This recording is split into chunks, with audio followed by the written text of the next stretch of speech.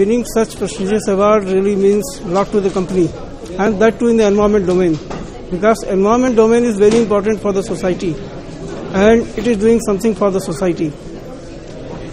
How does the awards process help your company excel in sustainability? See, the, this award process, what we have seen, is very comprehensive. Uh, it requires a lot of uh, data, not only for the current year but for the previous years also. So it depends upon the sustainable performance on that particular domain. And while site assessment goes on, it gives a lot of learning to the people because we talk to the auditors, then they give a lot of ideas where we need to improve. So that is really very good for improvement path of the company and development of the organization.